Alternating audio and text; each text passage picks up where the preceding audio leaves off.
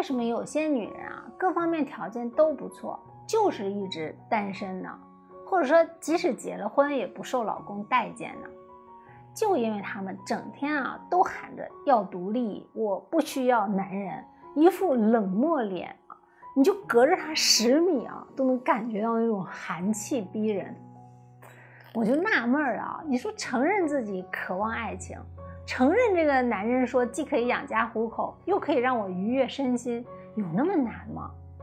如果你想对自己诚实，我教你个方法：每天早上对着镜子，跟自己大声的说三声“我就是想要男人，我就是想要男人，我就是想要男人”。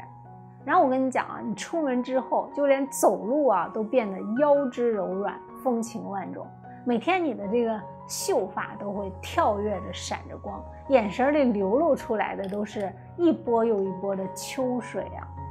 你知道那种状态吗？那种状态就是我们讲的妩媚。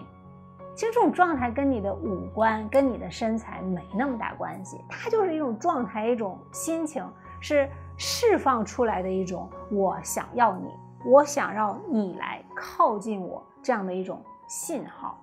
这散发出来的就是风情万种的魅力，就是一种致命的吸引力。不信的话，你试试。